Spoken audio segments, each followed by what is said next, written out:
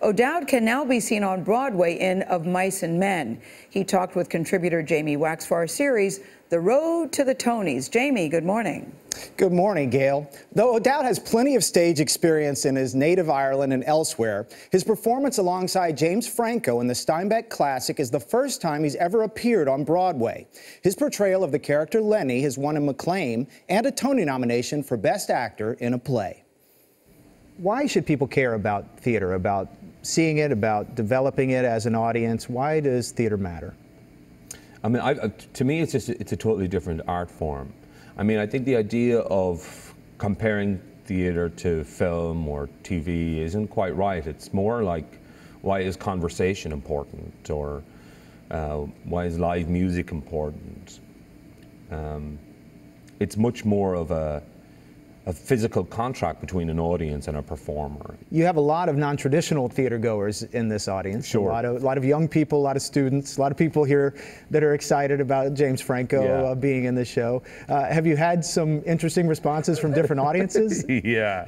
I mean, particularly on the, in the matinees when the school groups come in, because it's on the syllabus, I guess, and you can tell by their response to the various narrative plot points that they were too lazy to read the book, even though they were supposed to. You know, when certain things happen, they'll go, "Oh my God, no!" And you can see their teacher looking over. How did you not know that that was going to happen? we did this last week. um, and then, then there are just random things that happen where, like you say, a lot of people come to see Leighton and Meester and, and James and. Uh, uh, they don't necessarily know how to verbalize their excitement. so the odd time we've had people just go, James Franco. Them other guys gets in jail. They can rot for all anyone gives a damn. but not us. and why? Because. Because I got you to look after me and you got me to look after you, and that's why. the relationship between your character, Lennie, and Go James on. Franco's character, George, is, is extremely important. It's central to this story. To play characters who are so bonded must have bonded you two in real life as well on some level. Yeah, and we hadn't met before the play, so um, it was a bit of a risk in, in a way. But we've definitely grown quite close over the course of the production. And, and there are moments where the audience can't hear what we're saying, and I go over and kind of whisper things to them.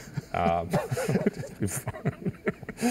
and I'll go over and whisper things like, um, know, George, um, I don't think this is going to work out really well for us. I think we should open a, a farmer's market You've had some easy choices handed to you that you could have kept going on a very clear, planned path. They were easy no's, like a lot of those kind of films where you get offered quite a lot of money to do the same thing that you've done before.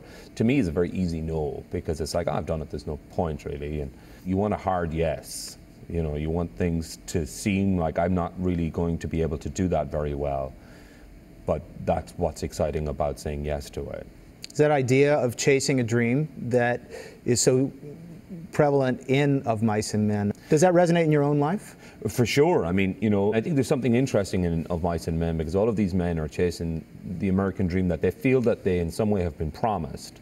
But nobody can really define what the American dream even is or or when you've achieved it. And I don't think anybody ever settles in their bed at night and goes, I've arrived. So do you think you'll ever tell yourself I've arrived? No, I don't think I can say that I've arrived or if I'll ever feel comfortable saying that because I'm still not 100% sure where I'm going. Um, but you'll be the first to know. And the 2014 Tony Awards will air Sunday, June 8th, right here on CBS. Jamie, thank you.